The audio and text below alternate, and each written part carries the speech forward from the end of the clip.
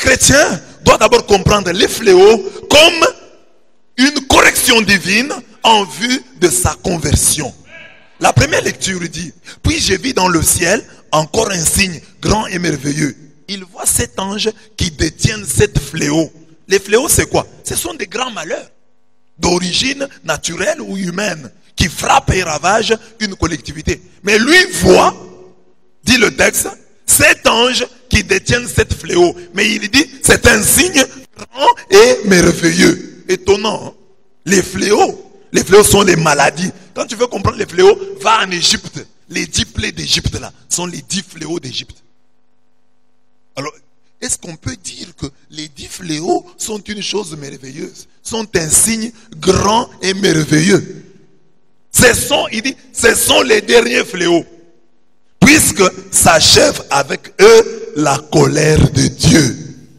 Chacun peut déjà considérer ses souffrances actuelles comme des souffrances terminales, comme le diable te disant au revoir, comme le diable en train de partir.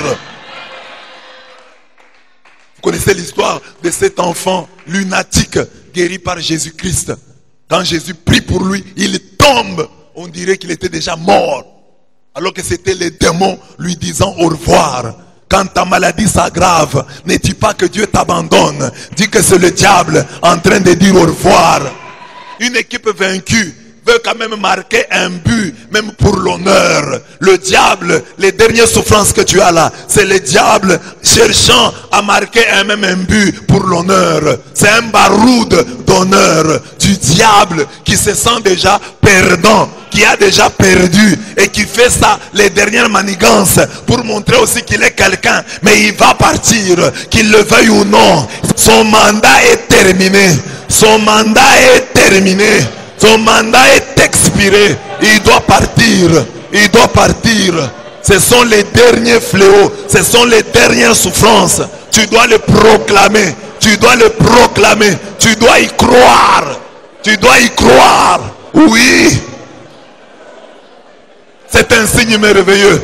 Même si tu as tous, tous ces soubresauts, toutes ces difficultés, tu vois que les choses se compliquent davantage. La parole dit, ce sont les derniers fléaux, ce sont les derniers signes. Toi aussi aie la foi. Tu n'as pas d'argent, ce sont les derniers signes. C'est le diable te disant au revoir. C'est le diable voulant marquer un but pour l'honneur. Mais il est déjà battu à plate couture. Oh, il veut dire au revoir. Il veut aussi marquer un but. Il veut aussi sauver l'honneur. Mais il va partir. Il sait que son temps est compté. Ce sont les derniers fléaux. Amen.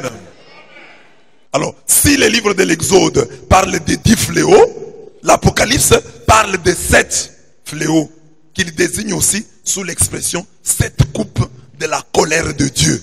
Apocalypse 16, 1 à 21. Quand vous lisez tous les livres de l'Apocalypse, vous verrez les sept fléaux, les sept coupes de la colère de Dieu. En croire l'Apocalypse 16, les sept fléaux ou coupes de la colère divine sont un ulcère malin et douloureux frappant les adorateurs des 666, mort des hommes dans la mer transformés en sang, les fleuves et les cours d'eau transformés en sang, le soleil brûlant les hommes comme un feu, le trône des 666 en feu, la sécheresse et le tremblement des terres. Ce qui frappe dans l'énumération des fléaux en Apocalypse 16, c'est ce détail. Et les hommes furent brûlés par une chaleur horrible. Mais loin de se repentir en rendant gloire à Dieu, ils blasphémèrent le nom du Dieu qui détenait en son pouvoir de tels fléaux on les frappe, ils blasphèment. Au lieu de se convertir, au lieu de se repentir, ils blasphèment.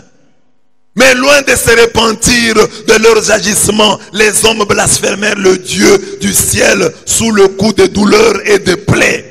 Alors que les fléaux sont là pour vous corriger, pour vous amener au repentir. Et chaque fois qu'ils étaient frappés, au lieu de se tourner, de rendre gloire à Dieu, de se convertir, ils blasphémaient.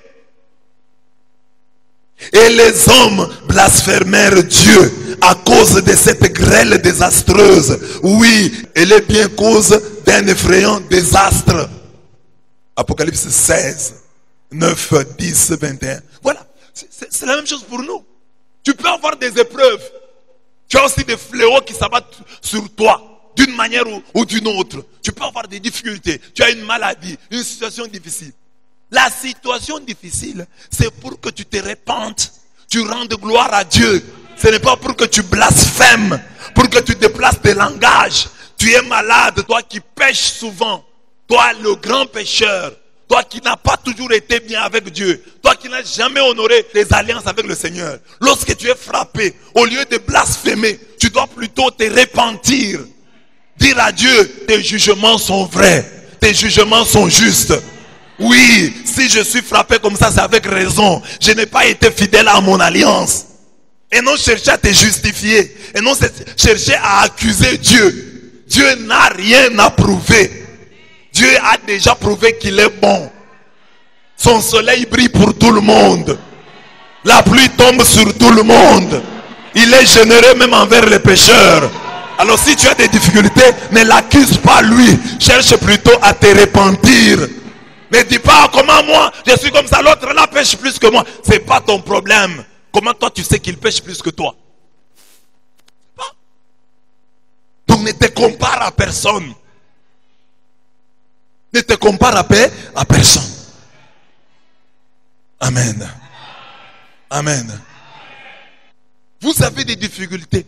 Vous voulez seulement accuser des autres, accuser Dieu, accuser tel et tel. Quand vous avez des difficultés, accusez-vous d'abord vous-même. Cherchez d'abord, qu'est-ce que Dieu cherche? Parce que je peux avoir tous ces problèmes ici. Mais pourquoi ça m'arrive à moi? Pose-toi cette question.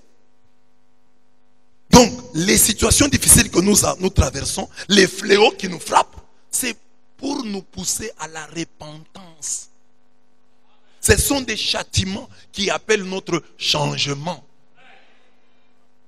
C'est le fouet du Père pour nous empêcher d'aller en enfer. Dieu dit, répands-toi. Si tu continues comme ça, ton problème. Attends, dit, non, non, je ne comprends pas, ça les sorciers. Oui, même les sorciers. Pourquoi Dieu a-t-il permis qu'ils te frappent? Il y a ta part de responsabilité. C'est ça qu'on voudrait voir. Qu'un chrétien, quand il a des problèmes, regardez Shadrach, Meshach, Abednego, quand ils sont jetés dans la flamme de feu, lisez un peu leur prière. Ils sont dans le feu, il dit Seigneur, tu es juste. Nous avons mal fait. Nous t'avons abandonné. C'est pourquoi on, commence à nous jeter dans le feu. Ils ont commencé à louer Dieu. Ils avaient des problèmes. C'était des gens de bien, eux. Ils n'ont pas dit, oh Seigneur, nous nous avons, nous nous comportons bien. C'est notre peuple qui est mauvais. Non, ils ont dit, tu es juste. Ce qui nous arrive ici, c'est juste. Nous avons mal agi. Nous t'avons abandonné. Voilà pourquoi maintenant nous sommes déportés sur une terre étrangère. Et dans le feu, ils chantaient, béni sois-tu Seigneur, Dieu de nos pères. À toi louange, gloire. Éternellement. Mais lisez la prière là, vous verrez qu'ils ont dit tu es juste. Tu es juste. Ne blasphème pas. Dis dans ta situation là, Dieu, tu es juste. Dans ta situation là, dis Dieu, tu es juste. Dis à Dieu, je n'ai pas d'argent, tu es juste. Je suis malade, tu es juste. Je mérite.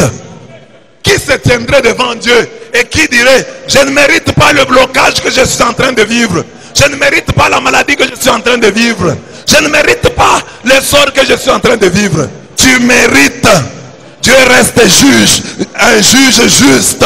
Même quand toi tu peux penser que tu es un saint, tu te compares à l'autre. Mais est-ce que tu sais ce que Dieu t'a donné à toi pour te distinguer de l'autre? Dieu reste juste. Dieu reste juste. Tu n'as pas l'argent, Dieu est juste. Quand tu avais l'argent, qu'est-ce que tu en as fait? Tu es malade, Dieu est juste. Quand tu es en bonne santé, quand tu fais de ta bonne santé, Dieu est juste.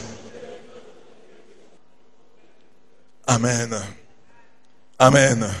Hébreu 12, 5 à 11 dit, mon fils ne méprise pas la correction du Seigneur et ne te décourage pas quand il te reprend car celui qui aime le Seigneur, il le corrige et il châtie tout fils qu'il agrée.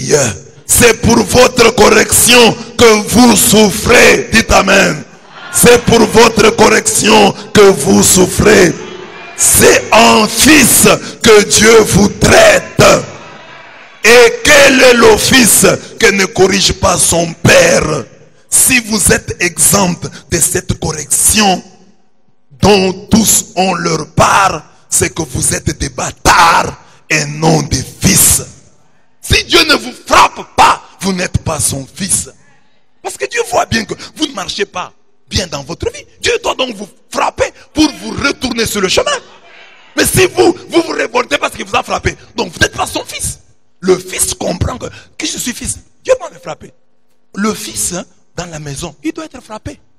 Il doit être corrigé.